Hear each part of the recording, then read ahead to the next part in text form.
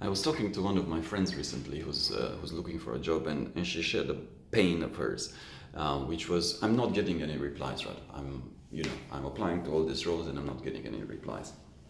And then I asked her, so who did you apply to, right? So uh, she was she was applying to HR, she was applying to heads of, of companies, she was applying to headhunters, she was contacting a lot of headhunters, friends, networks, so the usual. So I think she was doing the right things. Um, so then I asked her, so how, what, what do you mean that you don't get any replies? And bear in mind, this was November, December, so I think that that period also matters.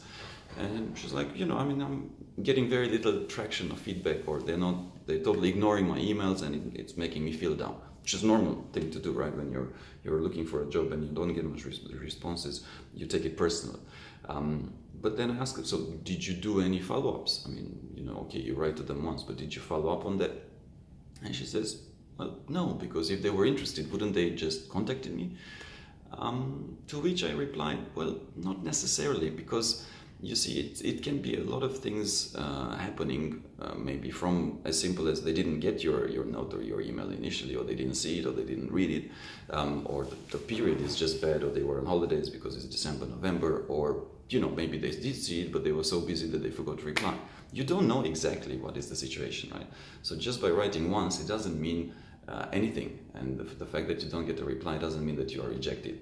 So I would uh, I would uh, always argue with with candidates, and especially when you're looking for a role, you need to follow up at least three times, at least three times, um, because by the third time, uh, indeed. Whoever you're applying to or connecting to will have, mm, by right, seen your message, and maybe then there is nothing there. But most people would appreciate the follow up, and most people will reply after the second uh, note.